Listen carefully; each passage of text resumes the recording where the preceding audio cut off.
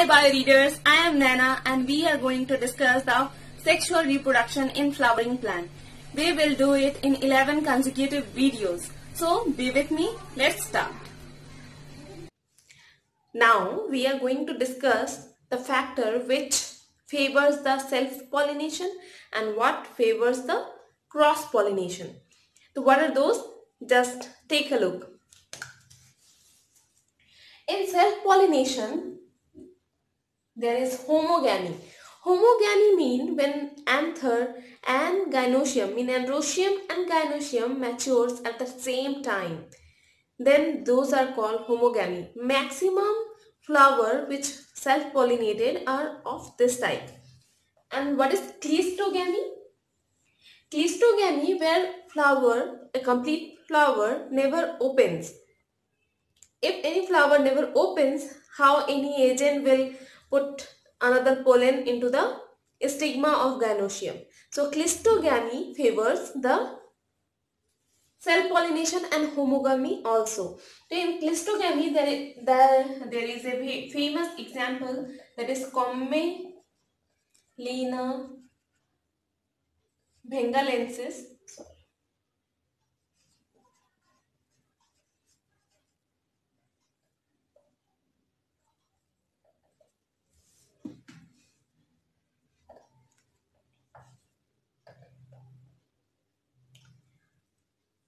this plant had two type of flower. Once uh, one type of flower which opens and other type of flower which never come out of the ground. I mean if this is the Commelina flower it have flower which open and in the air and some flower goes deep down in the ground and they never opens up and they never came out so these are the cleistogamous flower and which favors the self-pollination. And now what is uh, the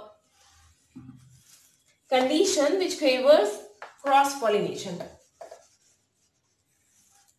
Cross-pollination, first one is dicliny. Dicliny mean where the flower are unisexual. So that is the most common phenomena where the flower are either male or female then they can't do self-pollination. So that is a factor a common factor. Next one is dichogamy like homogamy dichogamy is the opposite one. When the gynoecium and androecium matures at different time. So if dichogamy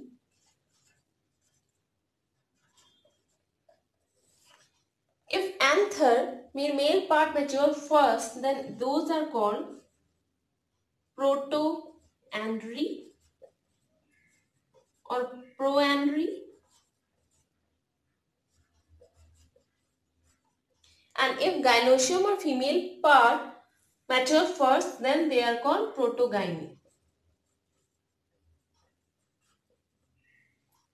The protogyny plants example Michelia and Protoandry hibiscus.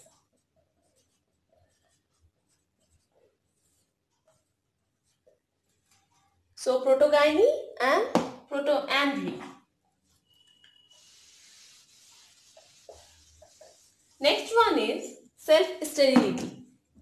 Self-sterility means Plant has both gynoecium and androecium but these pollen when transferred into the stigma they do not uh, mean grow they can't uh, develop any pollen tube which will go down here so they are self-sterile to each other but same related plant when gives pollen to the stigma it grows and develop pollen tube. So this is self-sterility. And what is hercogamy? Her hercogamy mean physical barrier. Physical barrier mean when corolla or calyx, anything, corolla mainly develops a barrier between anther and stigma. So these anther cannot cross this and reach here So they are called hercogamy. Example is gloriosa. The Bengali name of gloriosa is Ognishikha. of self-sterility is solanum. Tuberosum mean aloo. Potato. And next one is heteromorphism. Heteromorphism mean the length of anther and gynoecium is differ. Mean short gynoecium, uh, long androecium, long gynoecium and short uh, androecium, then they are not compatible. Pollen grain cannot reach the stigma. If they are long, they will droop down outside the corolla and they cannot reach the stigma. And if they are short, there is no chance to reach the stigma if they are short. So that is heteromorphism. And it is more common in the plant primula or primula. It's a flowering plant and that's it.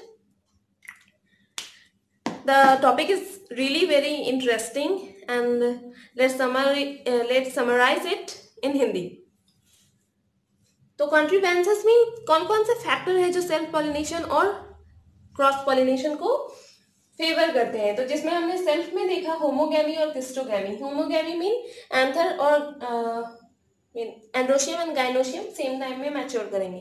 Cleistogamy mean flower कभी खुलेगा ही नहीं तो उसमें कभी दूसरा pollen आने का chance ही नहीं है। उसके बाद तो उसका हमने ये एग्ज़ाम्पल किया था कॉमेलिना वेंगलेंसिस इतना तो आपने वहाँ समझ ही लिया होगा इंग्लिश में जहाँ पे एक्सप्लेन किया मैंने। Dicliny mean unisexual flower mean या तो मेल फ्लावर है, नहीं तो ये फीमेल फ्लावर है।